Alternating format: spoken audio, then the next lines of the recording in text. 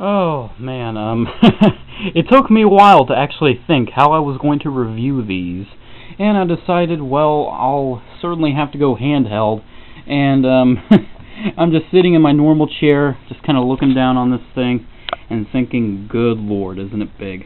Um, yeah, I'm not just going to be reviewing the Shock Trooper, I'm also going to be taking a look at the 501st. Um, Commander Cody is also slated for release. Yes! But, um, these are the only two that are currently out. Um, as far as I know, he is a he is a Target exclusive and he is a Toys R Us exclusive. As far as I can tell, um, uh, yeah, these are the giant 31-inch Jakks Pacific clone troopers. Um, they also made a Darth Vader. They made like Batman. They're making Power Rangers and Superman. Yeah, there's loads of these things out now. They're like they're starting to become the toy to get for kids. Um, and well, for like 30 bucks a pop, I really couldn't resist. Um, these are really nicely sculpted and made. Um, obviously, they're gigantic. I mean, just to give you a comparison with like the nearest thing I can find. Here's little Carbonite Han Solo. Yeah, um, yeah, this is really, really big. Um, and just to give you another comparison with a more, well, let's say, modern or more collector-friendly figure. Here he with Black Series Greedo. And you can see, I mean, this thing is huge. I mean, just look at this thing. And Black Series Greedo, uh, I'll, I'll be reviewing him soon. Um, I'm telling you, these things are just absolutely gigantic. And sorry, I'm not all. I'm not as, as I'm not as enthusiastic as I typically am, just because well, I don't know why I'm just kind of tired today. But well, these are really big, and that's kind of the main gimmick to them now, isn't it? Um, now these things have a lot of great detail. They are really movie accurate, and the head sculpt is really nice on all of these. I mean, they're actually really movie accurate. I mean, I'm telling you, even Sideshow Collectibles is having uh, troubles with the uh, Phase 2 helmet design. And Jakks Pacific has almost got down to a T. I mean, really, I mean, really nice three-dimensional sculpt. I mean, obviously, it's not gonna be as like worn and detailed as Sideshow Collectibles, just because, well, I mean, if it was, it'd probably be at like 60 bucks. But a lot of just a lot of great detail. Really love it. I mean, he has really nice paint quality too. Um, shoulder pads are not painted; they're just um, in red plastic. I mean, overall, just all over this thing, just really great. You can see the wrist here. just turn the wrist there, and you can see, and even the legs too. Here, just let me pick them up. It's really hard to pick up, but you can just see really great detail. The, the foot is probably one of the weakest parts, but overall, this thing is just massive, immense, and really, really nice. Um, turning him around, unfortunately, kind of reveals that he is a, well, kind of a mess when it comes to the screws. Uh, yeah, I'd say he has a good, like, I'd say 10, 20 screws. Um, but still, the detailing does continue. Uh, you can see the blaster there, which I will be covering. Um, here, just let me arrange this. You can see it's like on my lap right now. Uh, just get his arm up. You can see the blaster is really, really big and nice. I mean, a lot of just great detailing on here. You can see those are the two individual pieces. And as you can see, the other side still is Screw City. Um, but yeah, this is just really nice. Really impressive shock trooper here. And, I mean, the articulation on these things are pretty nice. Uh, for their size, at least. I mean, they could be better, but let's look at the 500 first here. Let's look at his detailing. I mean, it's pretty simple and pretty basic. Honestly, I prefer the the um the 500 first, just with the paint because I mean, look at my room and it's like nothing but blue. But I mean, just overall, really nice detailing. The detailing goes throughout. I mean, they even got the little bit of blue at the wrist.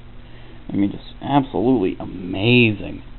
I mean, for how big it is, and for how cheap it is, too. I mean, only 30 bucks? Dang. Just overall, really nice detail. And you can see it's like this white is actually painted on. Um, just flipping them around again so you can see the back. You can see they even got that blue painted there and some more blue. I mean, overall, these things are just so impressive. And you can see it's like just using my legs isn't even enough. There we go. Let's set them down. Now let's look at the articulation on these things. Articulation, he has a swivel at the head. He has a really kind of weird swivel at the um, arms here. It's like they go back, which is actually quite weird. They go back this much, and then go forward this much. It's like they kind of have a limit as to where they end. I mean, you can't really flip this up anymore because, as you can see, it just kind of stops. Um, he has a swivel at each wrist. And the last bit of articulation, let's get him on my lap here again, is a, not really much of a hip joint, but it is there and it is enough. Um, these things are just immense. I mean, just look at this thing. Just look at it. I mean, just compare it to my shelves. I mean, it is absolutely, absolutely enormous. Um, it took me a while to actually find a spot for them, and they eventually got a home in front of my dresser. So whenever I want to get a new pair of pants, I have to always move these guys, which is great. But um, yeah, really can't wait for the Commander Cody to come out. Jakks Pacific has done a great job with these. If you're a clone enthusiast like I am, I highly recommend them. But if you really don't have the space for these, I would say give them a pass.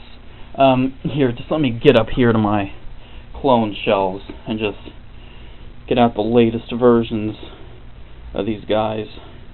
Like here, here's the 500 first. As you can see, little 500 first and big one together. And getting him back there. this is also a bit of an excuse just to show you my immense clone collection. And luckily he's easier to get. Oh, goodness. And here's the shock trooper.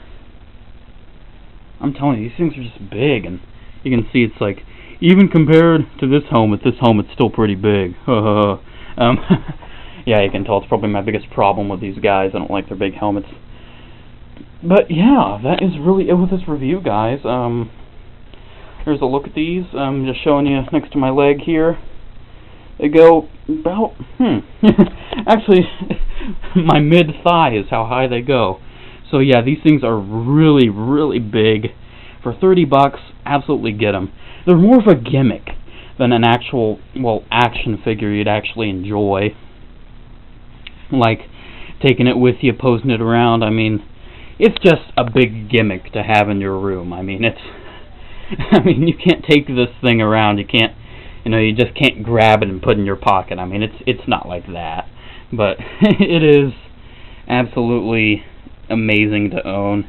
I really love seeing these things in my room whenever I go by, and, well, let's just say, Jakks Pacific, if you're watching this, I cannot wait for Commander Cody. I cannot wait for it. Oh, man, I cannot wait for Cody. And, well, guys, that is really it with this video. I um, hope you enjoyed uh, taking a look at the Jakks Pacific 31-inch Clone Troopers. Make sure to comment, like, subscribe. Check out my Facebook page if you have a chance. Have a good day, guys, and as always, may the Force be with you. Bye. Mm-hmm.